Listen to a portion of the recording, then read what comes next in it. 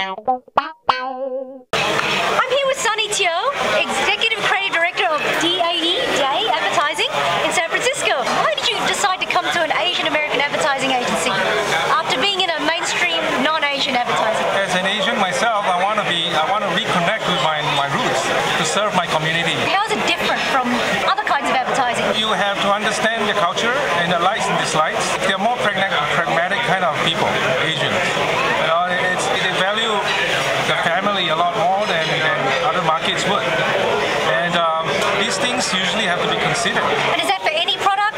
for any product. You know, uh, you know, they, a big part of what um, Asian Americans are, you know, they are immigrants. They're based on American immigrants uh, population. They have a great affinity for their family, whether it's in the motherland or whether it's in a community with, you know around them.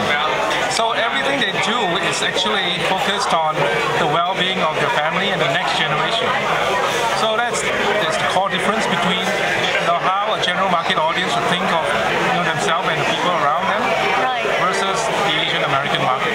So does that mean your your uh, advertising and marketing might feature families Yes. more as opposed to all about it's all about me? Right, right. That's very little about me. It's more about, you know, for my parents, you know, for my, my kids. They do have a great affinity for, for the relationships. More than all, most general market uh, audience uh, feel. Can you give me an example of a campaign you did where that's uh, obvious? Okay. Um, one recent campaign I did, the product was some form of a savings plan, a portfolio plan for your future, you know, future of your family.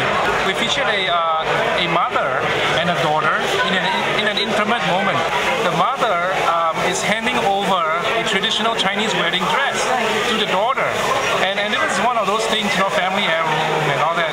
She kept it for herself and waited for uh, her, her daughter to get married. And, and so the, the idea is that, you know, when it's time for you to hand this thing over, you know, you've got to be prepared for it. Therefore, think about how to maximize your, your, your, your finances, you know, for that one moment.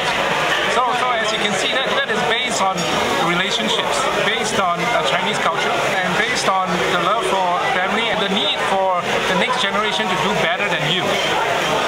And in this very much worship a youth we all lose, Yeah. the Google generation, do you see that advertising needs to address the elders more or show respect? It's inherent. It depends on what we're talking about, right? There's a lot of focus on the kids. The education, sending them to school, making sure that they have all these things, you know, the violin classes, the soccer matches, the A's, and all of the classes that they attend. And then on the other hand, there is this need to make sure that the elders are taken care of.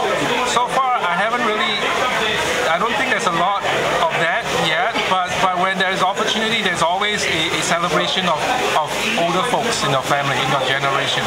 Asians will never shun. When it, when it comes to addressing the elderly, there, there's always a sense of respect. I could be saying a cliche that Asians are really into technology, aren't they? Oh, we're going to see um, our elderly great grandmothers um, Facebooking and Twittering on cell phones. Yeah, know. They, as long as soon as they know how to how to navigate the, the user interface, you know, um, they will be in good shape. But a lot of them are a bit disconnected, really, a bit disconnected from technology these days. Well, that's hopefully our job is to create connections and relationships because that's Right. what really matters.